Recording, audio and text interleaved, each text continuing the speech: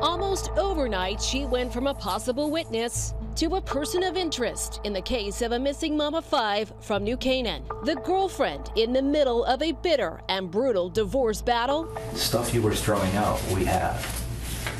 And it's all Jennifer. It belongs to Jennifer. Do you understand?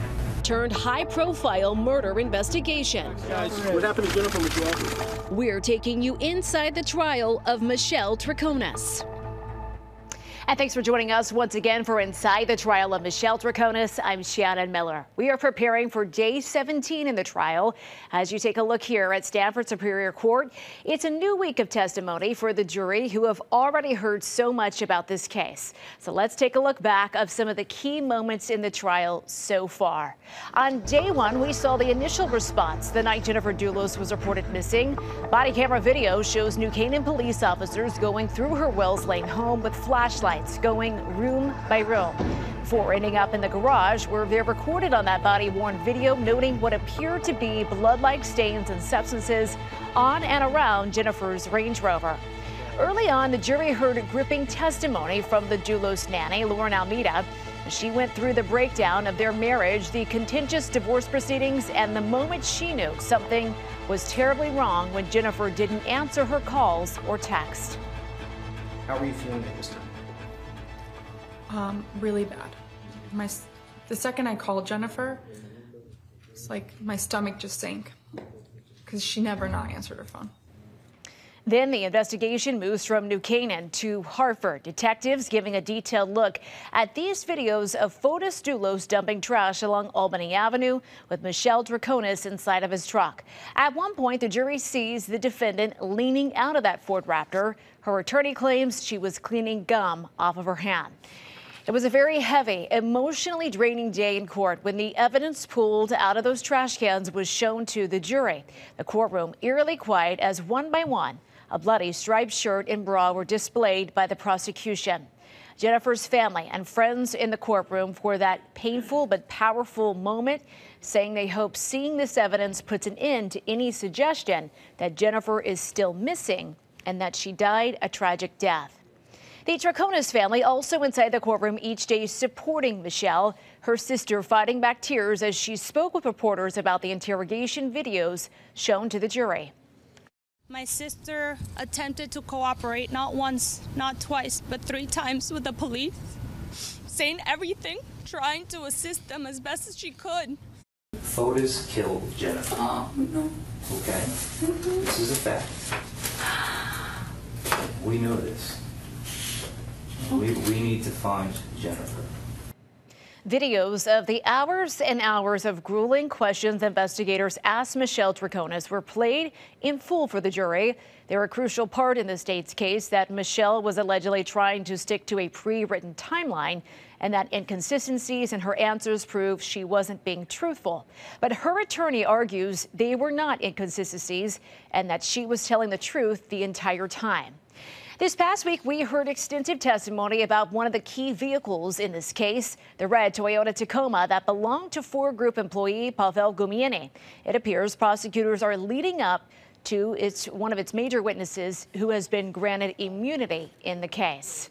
And we left off with testimony about blood and trace evidence testing, but the big question mark remaining for the jury what about DNA, uh, what was found on Albany Avenue? We do expect that testimony sometime soon. And we want to bring in my colleague, Kevin Geist, who has been at the courthouse since day one and even before that during the suppression hearings. And Kevin, you spoke with attorney John Schoenhorn about how the trial is going so far. What does he have to say? Absolutely, Shannon. Good morning. We asked defense attorney John Schoenhorn, simply put, about the state of the case. He described it simply as long. In some ways, he says he feels like he's not even defending his client, Michelle Troconis, but rather Fotis Dulos, who's dead. As I've said all along, this is really the trial of Fotis Dulos, and I'm not either keen to be defending him, nor is it my job, but uh, I think I said this the other day, in order to prove the charge, some of these charges, the state has taken upon itself the uh, the obligation to prove that Fotis Dulos didn't just hurt his wife, didn't even cause her death, but he murdered her, that he intended to kill her. And you know, that's a choice they made. That's something they have to prove to this jury. And Shannon is worth pointing out as well that we're coming off of two days where Michelle Troconis' name has only come up once in testimony. So we'll see how this week pans out. Shannon. The jury again still sitting in those seats, wondering again how potentially she comes into play in all of this. County Attorney Schoenhorn repeatedly argued against testimony about irre irrelevant evidence or presumptive screening tests, but he also said he wasn't going to criticize the prosecution for the way that they're presenting the case. Why? Right. Schoenhorn made it very clear that he wasn't going to criticize the court or the prosecutors for the way that this case has gone so far. But he says, if nothing else, the state is pointing out how much time, energy, and money went into investigating this case and ultimately how much time, energy, and money is going into prosecuting this case as well. All right, Kevin, so let's get back into the forensics testimony from Friday. The jury was shown another piece of physical evidence, a torn black plastic bag that was knotted and had duct tape on it. You can see retired state forensics lab examiner Anita Vilonis holding the bag in the courtroom. She says this was how she received it from the latent print department at the lab. They had cut and opened the knotted area, and she did a screening test on some reddish brown stains, which came back positive but no confirmatory test was done. Now, she took a number of swabbings of that bag and sent them off to the DNA section of the lab. So this is indeed the, the black plastic bag that I examined. As you can see, the area that I tested and collected the reddish brown stains labeled S2 and S3 are marked on this bag with a silver marker. My initials are also within those circles. The swabbing that I took, that I designated as S7, was approximately the edge of the black plastic bag, interior and exterior, as well as the black portion of the bag. So this, this top area here, the interior and exterior, would have been swabbing seven, is that correct? Yes. Along with the separate piece? Yes. Well, imagine that the bag was knotted and someone may have been handling this bag as I imagined as I examined my evidence, that perhaps the bag was knotted and someone would be touching or carrying this bag. And that was my thought process in collecting that sample. And when it comes to forensic analysis, one of the things examiners at the lab need to do is look over every inch of an item, and sometimes that leads to finding more evidence. When Vilonis first received the garbage bag, still knotted, here's what she did. I proceeded to loosen that knot a bit so that I could swab the knot area and, as well as the internal surfaces of that knot. Um, during that time, I observed a hair-like fiber that was entangled in this knot. So I removed that hair-like fiber. Image once. Well, she then determined that was indeed a human hair and then sent the root of that hair to be tested for DNA. Then there was that white hard material we first learned about on Thursday, which had confirmed blood on it. We had Brian Foley, the former spokesperson for the state police commissioner, on our show on Friday. He says investigators believed it was either bone or a tooth, but that it would have to be sent to the lab to confirm that. Vilonis says she removed the staining and a hair-like fiber and packaged the item to be sent to another lab for more testing. That fiber was determined to not be human hair. We're still waiting to hear exactly what that white material is. Also tested was a pair of husky gloves found in the trash dumped along Albany Avenue. Vilonis meticulously noted, marked and swabbed each blood-like stain on both gloves. Stains on each glove had a positive result in a screening test, but we didn't hear anything about confirmatory tests being done. Swabs were sent off for DNA testing. Now, Vilonis was also responsible for examining what's called trace evidence, which includes things like fibers, hair, soil, or wood. She was able to recover what appeared to be a hair from the stained towel found along Albany Avenue, and she confirmed it was a human hair. Again, without DNA testimony, though, we don't know yet whose hair it was. Vilonis explained this process. The questions I ask myself really are is, is this a hair? Is this a human hair or an animal hair? If it's a human hair, do, does it have a root? And does this root have tissue-like material on the end, meaning a piece of follicle perhaps, that could be sent for nuclear DNA analysis? So, Kevin, let's talk about this testimony and really overall what we've seen from the forensics experts. It appears the state is trying to prove it wasn't just the police being thorough and precise in the case, also precise were the workers at the state lab. Right, similar to prosecutors pointing out how much time and energy was put in by state police and local investigators, there's also sort of pointing out how much time and energy went in from state forensics experts, how much time they put in, the different type of small pieces of evidence they were able to find, like hair, like fibers and other sort of fibers on some of this material, uh, how many people these uh, pieces of evidence had to go through, ultimately all funneling over to the DNA department, and ultimately we're likely going to hear a lot more testimony from a DNA expert expert about what some of this material ultimately was, uh, something we're expecting uh, very, very soon. All right, Kevin, on cross examination, Attorney Schoenhorn brought up concerns about the way garbage was collected by detectives along Albany Avenue, arguing cross contamination could have happened here. I trust the submitting agency to perform their duties as they are trained, and I take in the evidence as it is presented to me. All right, so you would trust them to handle it correctly, is what you're saying, right? Yes. So dumping everything from that barrel into one larger construction bag and bringing it someplace else, would that not be within the protocol as you understand it? I don't see any alternative. Would you like them to spread out uh, paper and go through this garbage can item by item on a city street? Well, are you I think the, if, I would personally also bag that, take it back to a secure location and sort through it. Huh. But by doing that, you also agree that it would cross-contaminate any items that were in that barrel, correct? It's a barrel of garbage. So, Kevin, the forensic expert defending the work of investigators here, saying there wasn't much of an alternative, but she does say there was not cross contamination.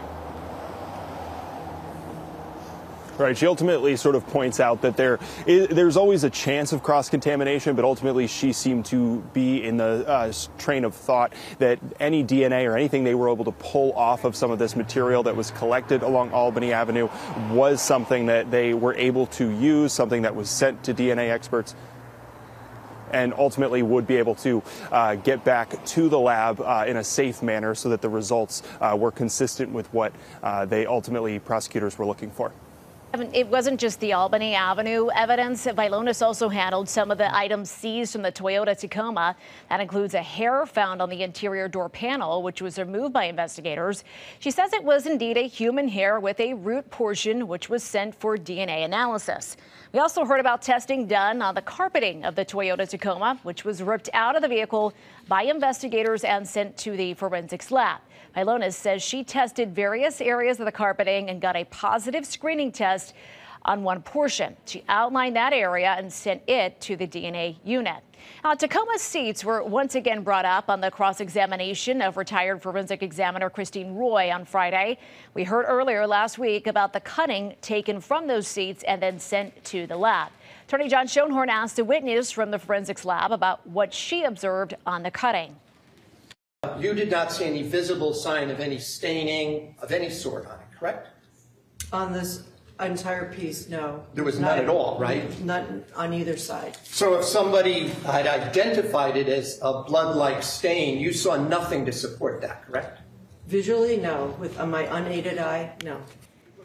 Now, while the witness was asked about using bleach to clean her work area at the lab, Attorney McGuinness from the state brought up a car wash. That set off an intense back and forth. So if things are bleached or other cleaning products are applied, or a car goes through car wash, for example, that could destroy potential biological material. Is that correct? It depends on the type of cleaning agent that you're using. Sure. Yeah. Bleach being the most prevalent one that is used in forensic labs to clean. Have you ever heard of a car wash using bleach to clean a car? I don't know anything about car washes. Or what detergents or No, what kind of cloths they use? that's not any part of my Fair enough. knowledge. You were asked on cross-examination just now about car washes using bleach. I wanted to ask you, could vacuuming a surface potentially remove biological evidence from that surface? Your Honor, that's definitely outside the scope of Well, cross. now we're talking about what goes on at the car wash.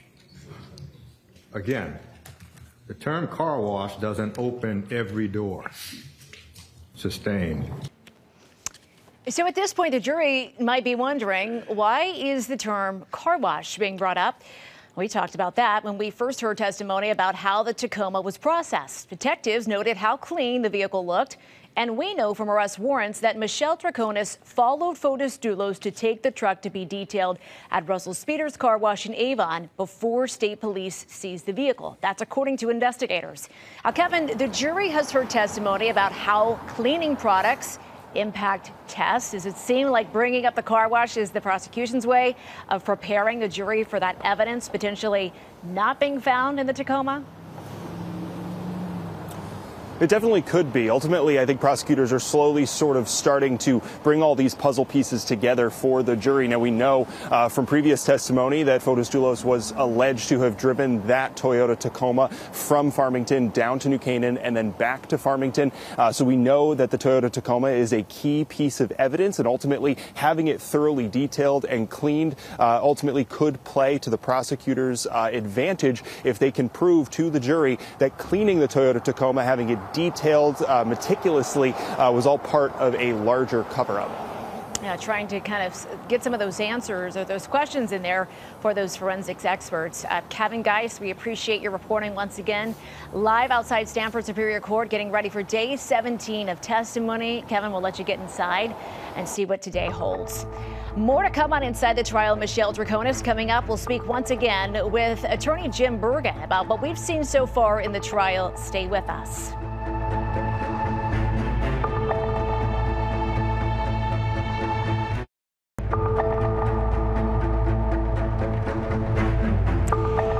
Welcome back to Inside the Trial of Michelle Troconis. We are joined once again by attorney Jim Bergenn, uh, one of our legal analysts who's been giving us his insight throughout this entire trial. Jim, we're in um, week three, three weeks plus now into the trial. Uh, the state making the case for a thorough investigation, both by investigators uh, and forensics uh, lab experts, but Attorney John Schoenhorn calling the testimony long. Uh, so, how does he take things uh, kind of back into possession, so to speak, when he finally gets his turn um, to to speak to the jury? Well, I think he has to have the courage to limit himself. Uh, the temptation, it's like a shiny object, you know, is to stand up every time he sees something that doesn't make sense. And even though he's explained quite well that, you know, it's the state has to prove this murder, I think he has to resist trying to defend this murder because the murder, I think you ought to just assume it was a murder. If you assume it's a murder, he doesn't have to take anything back. You know, he's still just defending her. He's not defending Fotis. Mm-hmm. And at this point, the jury uh, may be thinking, uh, God, can we just hear from the defendant? Be nice to hear what she might have to say. I asked, of course, the, the million dollar question to Attorney John Schoenhorn one of the last times I was in court. Of course, he has said he, you know, you got to see how this plays out as to whether or not she takes a stand. But at this point, would it help the jury to hear from the defendant? Do you think? Well, they've already heard from her. I mean, trials are for lawyers about recreating history. And here, the actual live history, when they're interrogating her, and we're watching her live, and she's talking contemporaneously. That is living history. I'm not sure what her testimony could add to that, because all she could say is, Yeah, I didn't know. All right.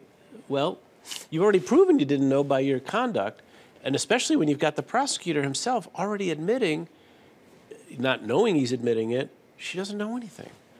And one thing we just heard again was this this car wash term, and they almost kind of try to bring that in to the DNA forensic analyst.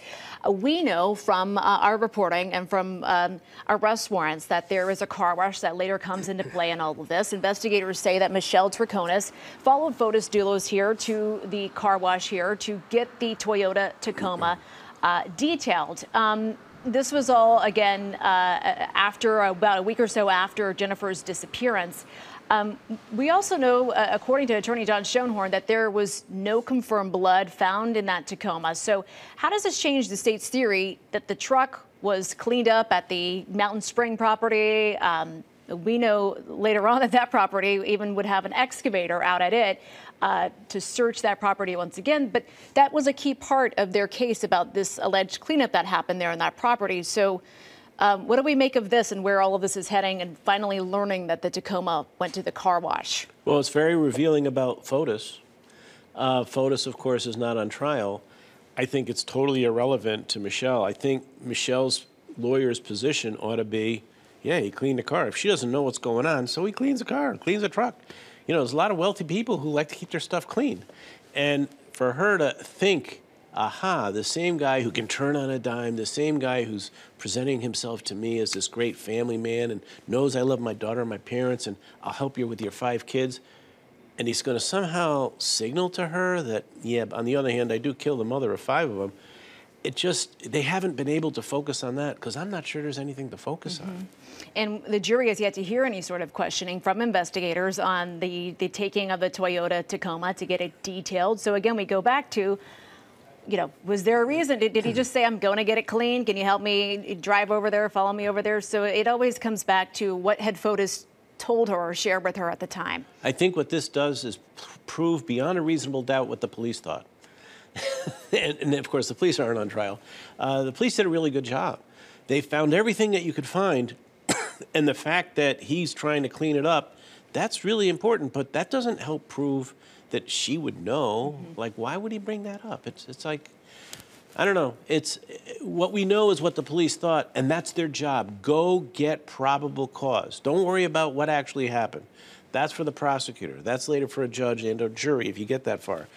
But here, they're doing their job. They ought to be applauded for doing a great job, but that doesn't actually help prove this case. Which I come back to that moment. The jury would, you know, would they want to hear from Michelle?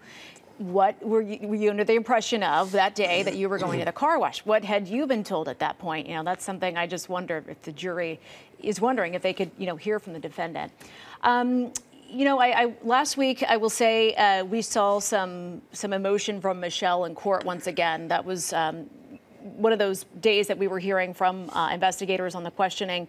Uh, might have been the week before last. Uh, what is it? You know, when you're in court and you see a defendant start to tear up, does that have any sort of impact at all on a jury? Yeah, the jury is is supposed to be studying her. Um, now it depends on what she was reacting to. There's so many things that are upsetting here. Uh, the part that I thought was the most dramatic was her own reactions when they're telling her he killed her, and she she you can watch her coming to grips with my God, this guy killed her, mm-hmm. and and like she's still figuring it out. Mm-hmm. Well, what can I do? I'll take you. Where do you want to go? Let's. I, I want to help. Yeah. I even got a, a very experienced lawyer, forty plus years experience, and he says, let's go in and talk. Let's do whatever we can do. So I, I don't think they're yet getting there.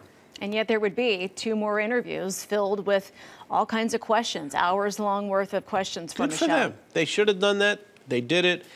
But now there's plenty for the jury to chew on, and I think Schoenhorn's just got to like let them see that. All right, much more to come on Inside the Trial of Michelle Troconis coming up. We'll be right back with Jim after a quick break. Stay with us.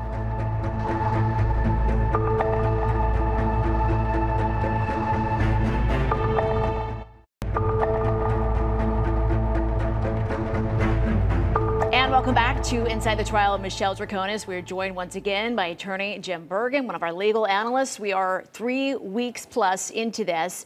Uh, the judge has said that this could go anywhere from six to eight weeks. So, how much longer, Jim, do you expect the state to go in proving their case? They can go as long as they want if they're going to build this whole case against Fotis Dulos. It's a long, long case. I'm not sure whether it's advancing the ball against Michelle. And we talked about it's actually given Attorney John Schoenhorn ample cross examination time. Yeah, uh, in fact, I would say a whole lot more cross examination than he needs. And he, it's like shiny objects. He can't resist doing cross examination when he sees things that don't make sense. I think it's a discipline for a, a, defense lawyer, actually any lawyer. It's a discipline to shut up mm-hmm. and not do much. Yeah. Um, and then he's his his clients already carried most of the work, you know, the most of the water in this case, so to speak. And I don't think I'd put her back up on the stand because the, the prosecutor then gets to cross examine and do its whole case just by forcing all these questions. And there's really a, a downside. Now, now, prosecutors don't tend to be as great cross examiners as they are good direct examiners because they got to put the case on. Mhm. And defense lawyers, of course, become good cross examiners because that's sometimes all they do. And there's certain things that they can bring out uh, that haven't been brought up in the cross examination before, right? That's right. Jem, we thank you as always. Still a lot more to come. We appreciate your insight and analysis as always. That wraps up our exclusive Inside the Trial of Michelle Troconis streaming special. You can watch the trial live on our streaming channels when court starts around 10 a.m. every day. And we will have live coverage on NBC Connecticut News at 4. Be sure to join us weekdays at 9 a.m. for more in depth analysis as the trial continues to unfold.